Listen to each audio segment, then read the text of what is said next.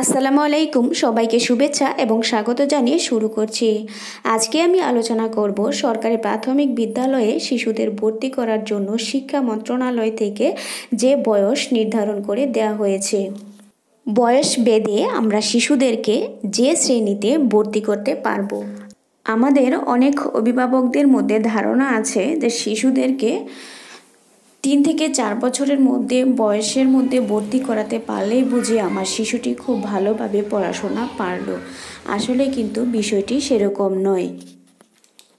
শিশুর আনুষ্ঠানিক শিক্ষা শুরুর জন্য ছয় বা সাত বছর বয়স পর্যন্ত অপেক্ষা করা উচিত।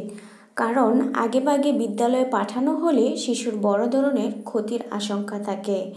যুক্তরাজ্যের একশো তিরিশ জন বিশেষজ্ঞের একটি দল এরকম মতামত দিয়েছেন। বিশেষজ্ঞরা বলছেন, তুলনামূলকভাবে বেশি বয়সে যে শিশুরা পড়াশোনা শুরু করে, তারা সাধারণত ভালো ফলাফল করে এবং উচ্চশিক্ষায় তুলনামূলক বেশি সাফল্য পায়।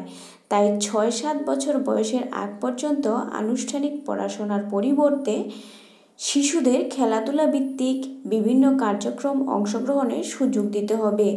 কারণ আগেভাগে পড়াশোনা শুরু করলে শিশুদের নিজস্ব ভাবমূর্তি মারাত্মকভাবে ক্ষতিগ্রস্ত হয় এবং তাদের শেখার প্রবণতাও নষ্ট হতে থাকে। দুই হাজার বাইশ সালে শিক্ষাবর্ষ থেকে সরকারি স্কুলে প্রথম শ্রেণীতে ভর্তি হতে হলে শিশুর বয়স ছয় বছরের বেশি হতে হবে।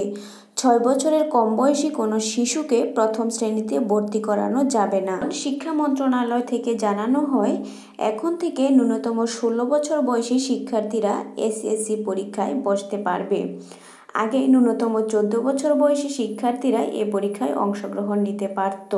তাহলে আমরা বুঝতে পারলাম শিশুদেরকে আমরা তাড়াহুড়া করে চার প্লাস কিংবা পাঁচ প্লাস বয়সও যদি ওয়ানে ভর্তি করি, ষোলো প্লাস বয়স হলেই কেবল সে এসএসসি পরীক্ষা দিতে পারবে তাই আমরা সবাই শিশুকে ছয় প্লাস বয়সেই প্রথম শ্রেণীতে ভর্তি করব।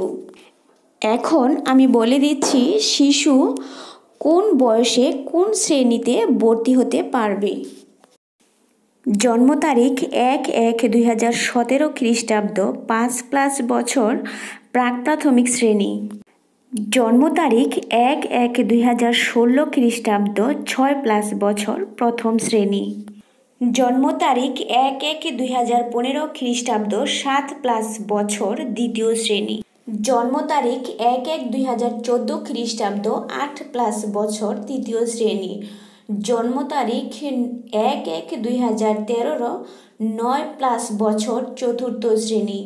জন্ম তারিখ এক এক দুই হাজার বারো খ্রিস্টাব্দ দশ প্লাস বছর পঞ্চম শ্রেণি। ভর্তি হওয়ার জন্য যেসব কাগজপত্র দিতে হবে, শিক্ষার্থীর পাসপোর্ট সাইজের ছবি, দুই কপি, শিক্ষার্থীর জন্ম সনদের ফটোকপি, এক সেট, পিতা ও মাতার এনআইডি কার্ডের ফটোকপি, এক সেট মায়ের নামে রেজিস্ট্রেশনকৃত মোবাইল নম্বর একটি অন্য বিদ্যালয় থেকে আসলে ছাড়পত্রের কপি সাথে দিতে হবে। আশা করি বিষয়টি আপনারা সবাই বুঝতে পেরেছেন। আল্লাহ হাফেজ।